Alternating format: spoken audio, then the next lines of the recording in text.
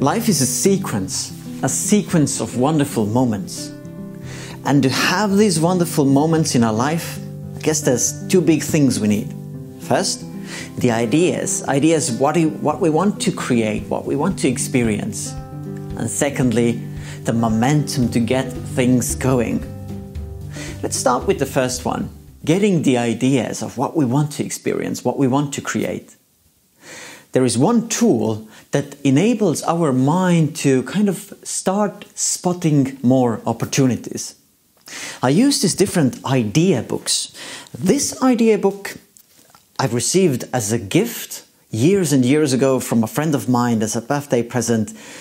And what I started doing is I just started using it as a notebook for taking big ideas when I was reading books, when I was going to the seminars, just taking notes. What are the insights? What are the ideas? What are the like, elements that I, I, I would like to use in the future?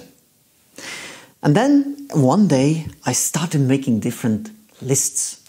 You know, lists about where I would love to travel, where I would love to uh, uh, go, what I would like to experience, what I would like to try out, what kind of people I would like to meet, what I would like to do during my life. Different kind of lists, whatever came to my mind.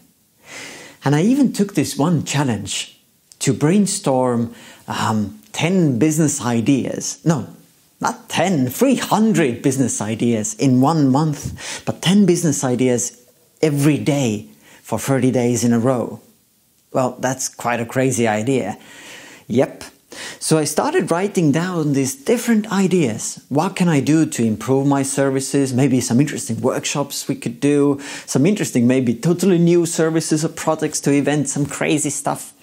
They didn't have to be million dollar ideas. They were just crazy ideas to experiment and that would actually you could actually ask money from that so every day 10 ideas writing down aiming for the 300 ideas which was a, quite a crazy goal by the way what do you think did i make it to the 300 well actually not exactly i made it to like 262 ideas.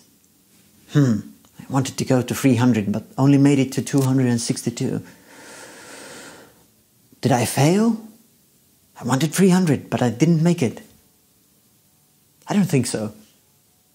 If I hadn't made this list, if I hadn't had this stretching goal for 300, I probably would have maybe like 10 or 20. But then I had 262 which were quite crazy ideas, and many of them I had been able to realize as an uh, advancing the existing products or creating some new ideas, or some of them are just so crazy that uh, maybe when I get really old I will do them. But the wonderful thing is what this exercise did in my mind is that I went around and I kind of started spotting opportunities. Have you ever thought, what is the difference between an enterprising person who is really active and changing things and not a non-enterprising person who is like kind of just doing the work he's told to and that's about it? The difference is that where non-enterprising person sees problems oh why is this like that or why is it why aren't they there this kind of things and that kind of things then the enterprising person sees hmm, hey, I could actually offer this kind of service here, or maybe I could invent this kind of product and I could solve this problem and that would help people. So it's a question of mindset. Do you see problems as opportunities, or do you see problems as some annoying things on the way? What this exercise did for me, at least I feel so, is that it's um, it's enabled me to start focusing on problems as opportunities, as things that I can do to actually improve. As a piece of advice, as a crazy thing to try out and figure how it works for you, I invite you to take just a notebook, something you can carry around, and start using it as an idea book. You can start doing lists here about things you want to experience, maybe places you want to go, things you want to do.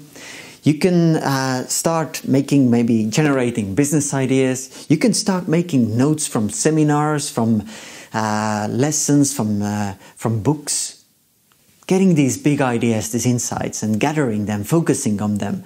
And time to time, just reading them through and thinking how you can execute them.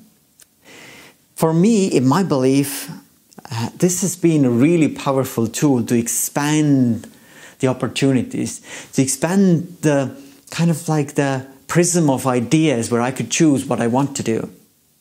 Now, let's face it, all these ideas you don't have to execute now. Maybe when the time is right, maybe a year from now or months from now, then when the time is right, you can execute them. Some of them you don't even have to execute. But the idea is get your mind going. Train your mind to spot the ideas. Train your mind to dream. Train your mind to learn, to be alive. And use this kind of idea books to do it. I've had maybe like 10 of these already. Smaller ones, bigger ones, always carrying around, listening to audiobooks, writing down ideas, learning, experimenting, keeping your mind fresh and spotting the opportunities. Stay inspired, get your ideas going grab a idea book and start jotting down all the insights you're getting from day to day basis.